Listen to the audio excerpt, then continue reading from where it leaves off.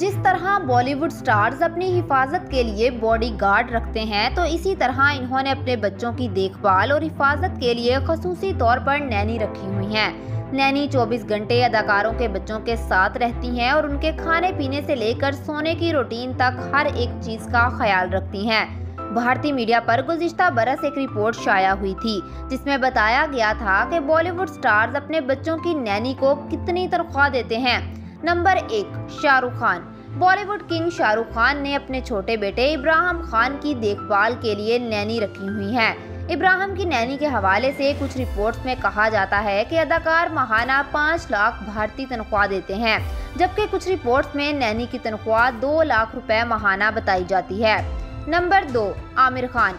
Mister perfectionist Aamir Khan ने अपने बेटे आज़ाद की 24 घंटे देखभाल के लिए नैनी रखी हुई है। जिसे अदाकार सालाना अढ़ाई करोड़ भारतीय रुपए तनख्वाह देते हैं। नंबर तीन, करीना कपूर। बॉलीवुड की बेबो और नवाब खानदान की बहू करीना कपूर ने अपने बेटे तहमूर और जे की नैनी को महाना तीन लाख भारतीय रुपए तनख्वाह देती हैं।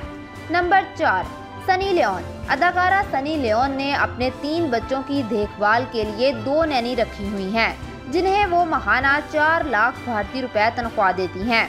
यानी एक नैनी को दो लाख रुपए तनख्वाह मिलती है। नंबर पाँच करण जौहर। भारत के मारूफ फिल्मसाज करण जौहर ने अपने दोनों बच्चों यश और रूही की देखभाल के लिए दो मुख्तलिफ़ नैनी मुलाजमत पर रखी हुई हैं, जिन्हें वो महाना छह से आठ लाख भारतीय रुपए तनख्वाह देते हैं।